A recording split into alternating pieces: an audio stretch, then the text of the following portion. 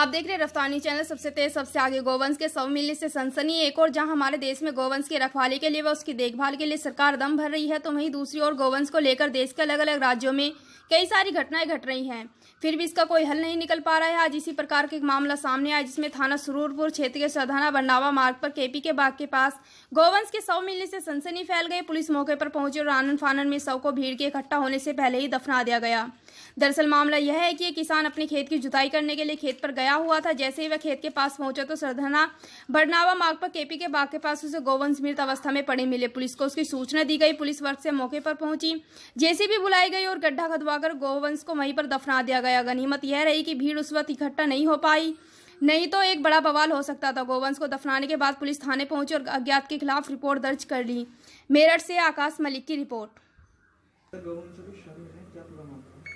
देखिए, थाना सरूरपुर क्षेत्र में दो गाय मिली हैं जिनको कि लग रहा है जिन्होंने कोई जहरीला पदार्थ खा लिया है, ऐसा प्रतीत हो रहा है, या ऐसी सूचना आई है, और लगता है कि किसी ने उन्हें उठाकर एक जगह से दूसरी जगह शिफ्ट भी किया है।